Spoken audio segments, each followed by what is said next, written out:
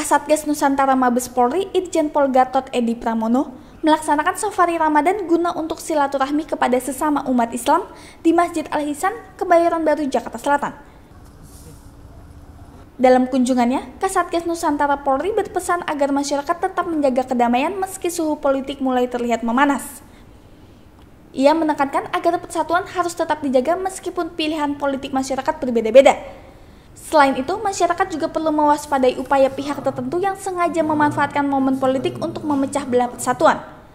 Satgas Nusantara memang mempunyai tugas untuk mencegah isu-isu sara di pilkada. Salah satunya dilakukan dengan menggelar safari Ramadan. Dan tak lupa juga terakhir Kasatgas Nusantara untuk menyampaikan pesan-pesan Kamtipmas.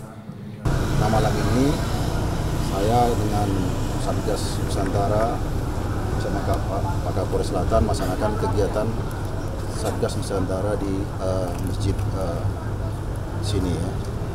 Nah, tujuannya pertama adalah kita melakukan silaturahim sesama umat Islam. Ya, kita harus memelihara hubungannya itu. Yang pertama adalah hablum minallah, kita memakmurkan masjid. Yang kedua kita hablum minannas. Ini yang kita lakukan bersama umat Islam. Kemudian yang kedua nantinya kita tentu menyampaikan uh, perkembangan situasi dan kondisi kita. Kemudian kita juga menyampaikan uh, pesan-pesan Kamtimas dan pesan-pesan damai kita. Utamanya kalau di DKI Jakarta ini kan tidak ada pilkada, tapi kan tahapan pilpres sudah berjalan. Jadi kita berharap dalam tahapan pilpres ini suasana yang selama yang sudah aman, damai, sejuk, nah itu bisa terus berjalan.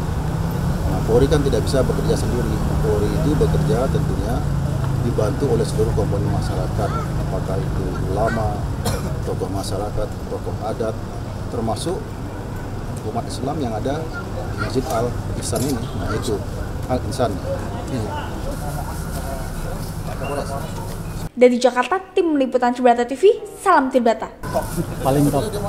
Saya dulu di tempat Oh iya iya. Ini kenal semua kalau